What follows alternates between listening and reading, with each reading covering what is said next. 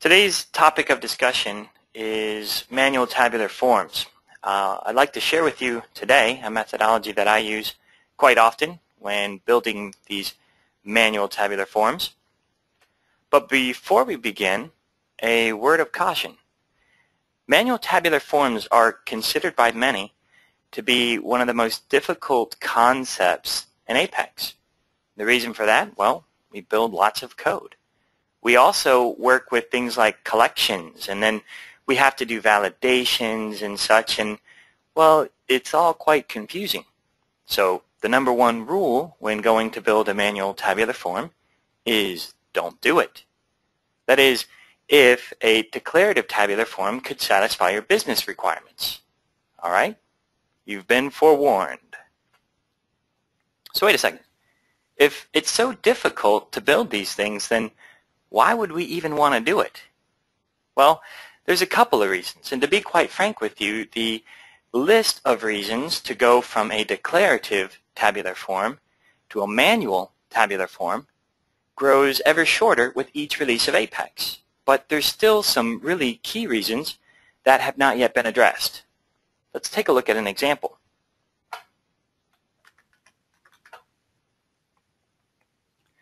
I'm going to go into a test workspace here and we'll start up a demo app.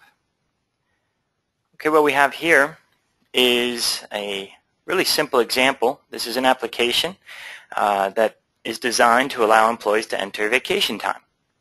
So I'm going to go create and of course we have a typical start and end date here. And we know how employees like to take vacation.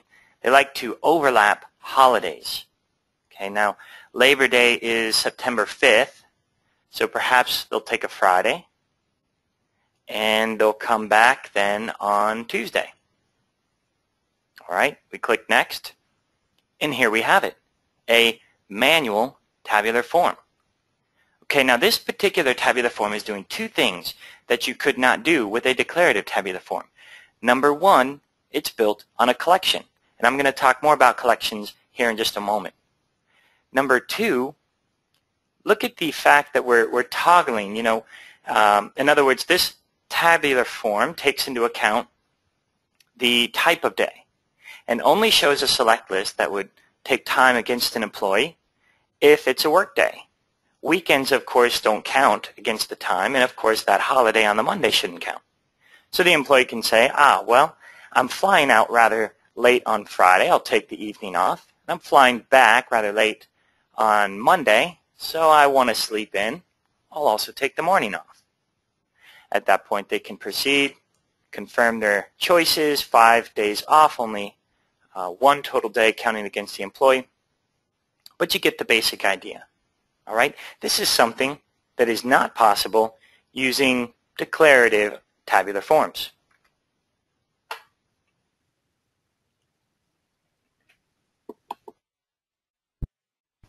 And that brings us to a methodology.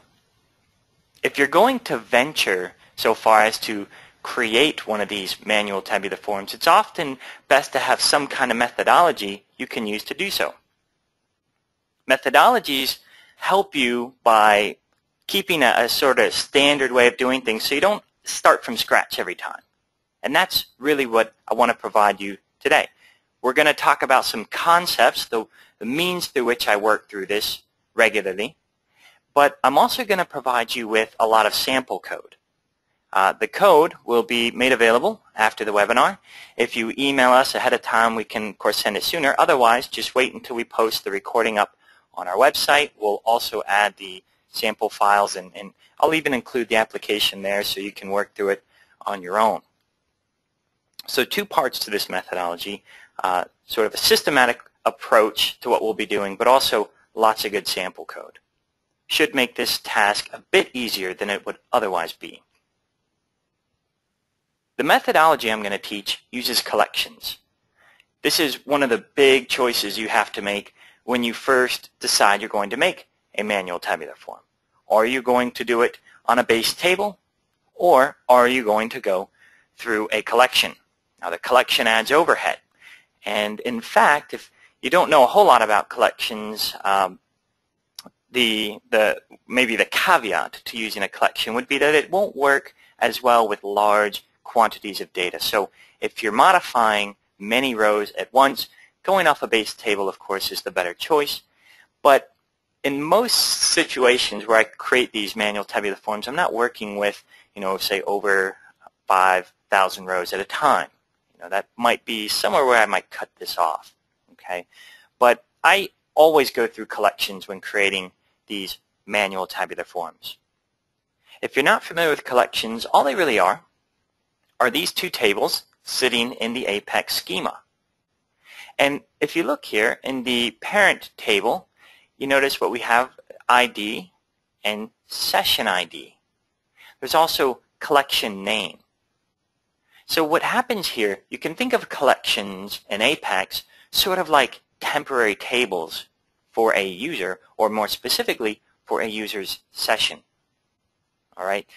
The reason we need something like this, we can't use the standard uh, temporary tables in Oracle, which are session or transaction based, because each connection to the database may be a different connection and thus a different temporary table. So we need something different.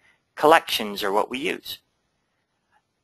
They tie each collection created within a session to a user session ID, maintaining uh, persistence across each request to the site, but simply thought of, these are just like tables. And the kind of tables we create are very generic. Uh, if you look at collection members, members are where the rows of data for each of our tables will be stored. You can see they're rather generic. We just have these varchar2 4000s to work with, and even the naming convention is generic, C001 and so on. Well, in subsequent versions of Apex, we got a bit more. We now have a CLOB column, we have a blob column, an XML type column, and then we have five date and five numeric columns. So there's a little bit more, of course. We don't see that because there's so many of these columns, but uh, 50 varchar 2 is sort of the standard, and that's what we'll be working with today. So those are collections, and I always use these because, frankly, when a user submits the page, if an error occurs, especially a validation error, I want them to be uh, coming back to their tabular form with all of their changes having been saved. And if you don't use a collection, then you either A, lose the data, or B, you have to take the user to an error page, neither of which to me is really the best scenario. So we use collections all the time with this methodology. Here's an overview of what we'll be doing today. Anywhere you see an arrow, that's where I'm going to supply you with some code. And I'm actually going to start with the code I use. Uh, it's very generic, and we're just going to modify it as we go. What we have here should be somewhat familiar. On the left, the page rendering phase, and on the right, page processing phase. Now, on the bottom half of this, you can think of this as the server side, and the top, this part here, is the client side. This is just the browser. Now within the server side, we have two parts. The bottom part, the custom tables, that's your custom schema. And then the next level up is the Apex schema. So the way this methodology works, in the page rendering phase, we take data from your custom table or tables, and we move it into a collection. And then we build a report on this collection. And we use the Apex item package to do that. The reason for which is we have the most control and flexibility.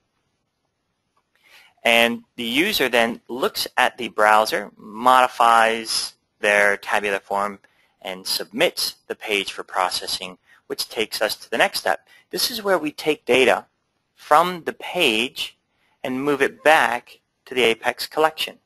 And we do this before we do any kind of validations or anything like that, any real processing. Once we've gotten past validations, then we move into processing. This is where we take the data and move it back into the custom table. That's what we'll be working on here today. And we're going to start, of course, with the first step on the left.